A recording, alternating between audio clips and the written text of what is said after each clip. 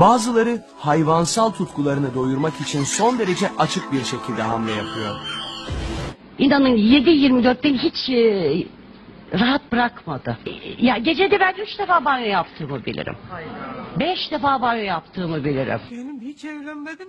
Hatta bayan arkadaşım dahi olmadı. 46 yaşındayım. Vallahi olmadı. Eli elime değmedi. Evet.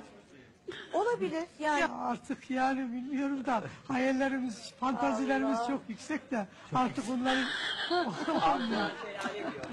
yani yaşamadığım şeyler çok var, arzuladığım çok şeyler var. Bazıları cazibesini kullanıyor. Daha yakından bakınca doğanın baştan çıkarıcılarla dolu olduğu ortaya çıkıyor. Hepsinin de amacı aynı. Bu üreme yarışının ödülü bir dişiyi dölleyebilmek.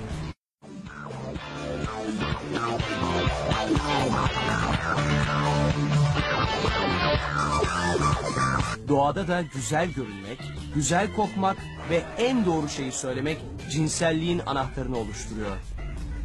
Zayıftı ya. Allah Allah.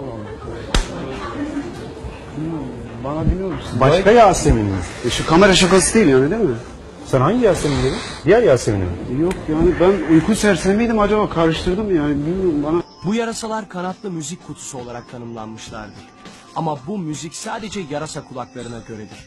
Ne zaferinden bahsediyorsun sen savaşta aşkı karıştırmışsın. Kendilerini kulak tırmalayan seslerle tanıtır.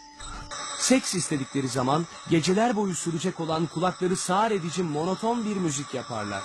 Aşk geç tenimden gel gel gir Önemli olan ritim tutturmak değil, çok fazla gürültü çıkartmak.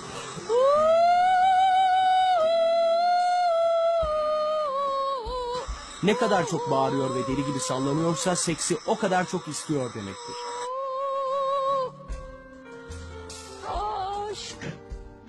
Böylesine derin nefeslerin etkileri son derece uyarıcıdır. Kükremeler dişilerin yumurtlamasını artırır.